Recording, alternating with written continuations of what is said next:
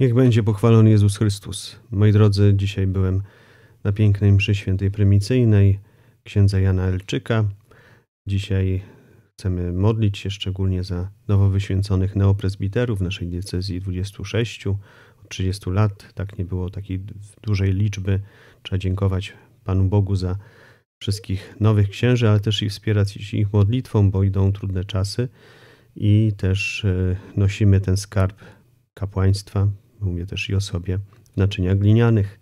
Sami z siebie łatwo nas potłuc, łatwo czasem jesteśmy potłuczeni, ale Pan Bóg potrafi nas posklejać, poskładać na nowo i dalej nosimy. E, sami jesteśmy takimi naczyniami glinianymi, których mamy skarb. Skarb kapłaństwa, skarb tej mocy sprowadzania Boga na ziemię. Moi drodzy, dzisiaj też chcemy modlić się za naszą ojczyznę. Od y, jakości nowych kapłanów też zależy los naszej ojczyzny.